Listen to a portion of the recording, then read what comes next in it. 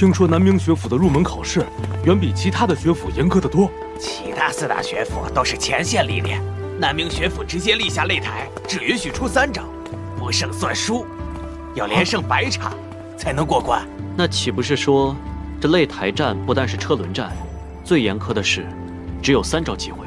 南明学府可是轮回天帝帝天意的府邸，选拔要求自然高。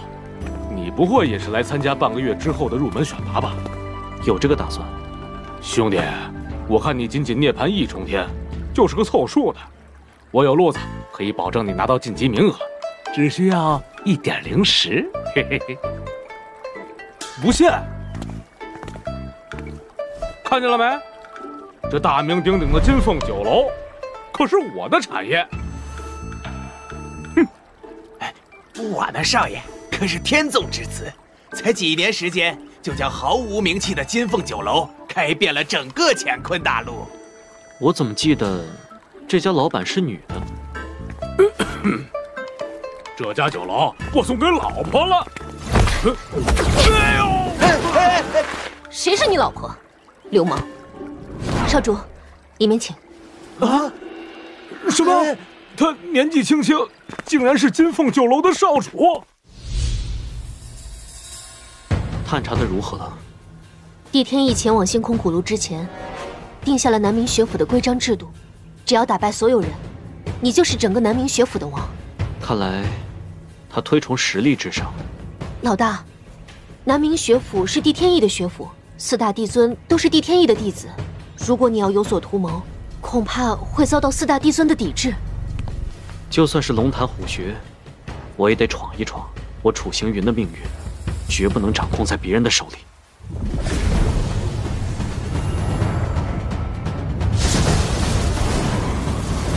希望花梦月寻到的万年灵物紫虚龙皇参，能助我凝聚五皇才能拥有的紫府蛟龙。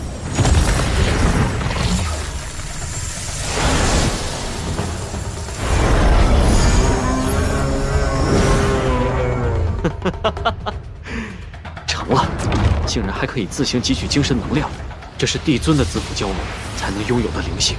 没想到这紫虚龙皇身竟然让我的境界连升了六级，达到了涅槃六重天。时间应该差不多了，南明学府，我来了！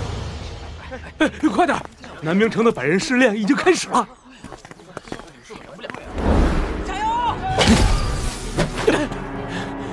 三招已过，你二人未分胜负，均失败。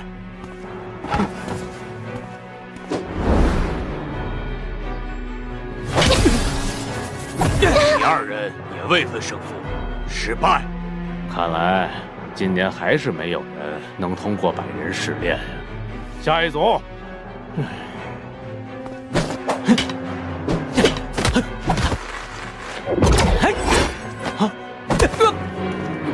木剑触碰到了身体，二十三号参赛选手胜。哇，最后那一招好快呀！是呀。简直难以抵挡，还行。什么叫还行？你一个打酱油的路人，口气不小。你也就只能在下面过个嘴瘾。真要上去，你能几招击败他？大概一招吧。哼，这这，你就吹吧，还一招？我看你连上去的勇气都没有。你好，我要报名。哼，你只有涅槃六重境界。我劝你还是别上去送死了，这就不劳您费心了。哎，嗯，还真敢报名，我们就看他是怎么被打下来的。哎，哼，这么小的年纪，剑法倒是娴熟，使用的时候也是巧妙刁钻，但距离人剑合一的境界还有不小距离。恭喜二十三号参赛选手击败九十九人，下一个一百四十五号。好奇特的光照，竟然能瞬间封锁灵力。现在我只能依靠身体来战斗了。哼，刚才吹的可响了，可别一招接不下来就退场了。是呀，我倒要看看你怎么一招赢对手。想一招击败我，那我倒要见识见识阁下的剑术。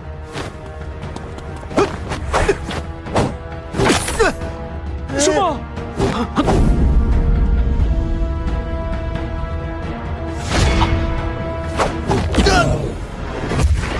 啊！一招竟然真的就一招击败了对手！没想到他天生神力，任何剑招在他面前都毫无作用，难怪他敢扬言一招制胜。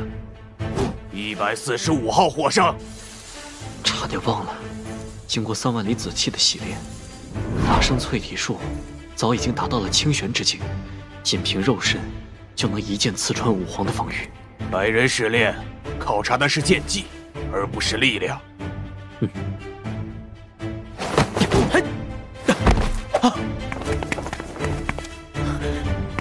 疾风十三剑，条件是，太太快了！一百四十五号获胜，剑术竟然融入了每一个动作里，这难道就是传说中的人剑合一？只有修炼了千年的剑道武皇才能达到人剑合一，除非他上辈子就开始修炼，否则绝对不可能。看来是藏不住了。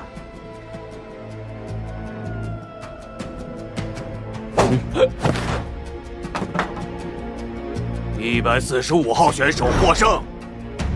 承让。还差三个对手，我就可以进入南明学府了。希望不要出什么岔子。楚兄，好久不见。哼，你要想进入南明学府，得先问问我们几个答不答应。就凭你们这几个手下败将，也想拦我？